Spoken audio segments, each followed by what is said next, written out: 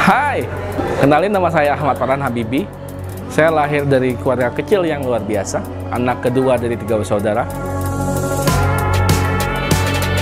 Bisnis itu asik, tantangannya juga banyak dari penjual gelang, pedagang pempek keliling, terus dikasih amanah punya beberapa resto dan kafe dan kopi shop.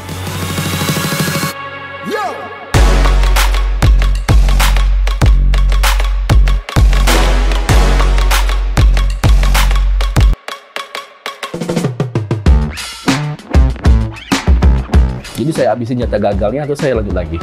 Saya malah tertarik dalam politik.